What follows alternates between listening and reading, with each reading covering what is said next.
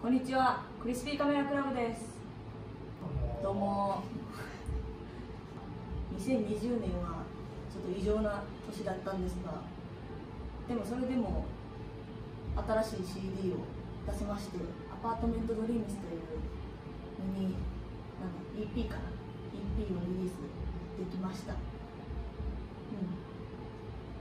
ん。で、まあ、今年はクリスマスソングも1曲作ってコンペに参加したりとかもあったしあとはね潜伏してる間にいろいろと曲をたくさん作ったのでねまた来年はそれが発表できるかなと。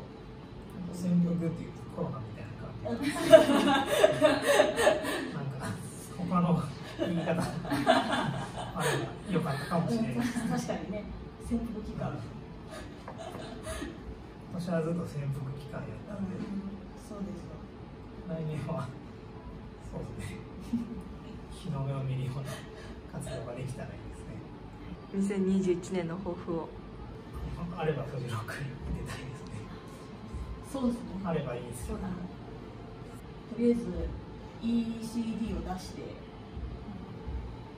あのもっといろんな人に届いたらいいなと思いますよ来年ははいあればツアーが無事にできますようにみんなにお会いできますように。あれば甲賀の夏祭りに出たいですね。